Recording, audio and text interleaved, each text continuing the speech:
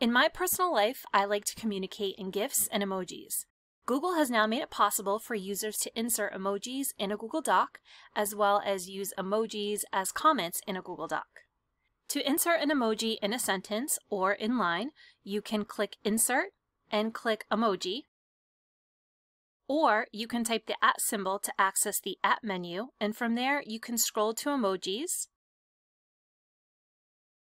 my shortcut is I type the at symbol and start typing the word emoji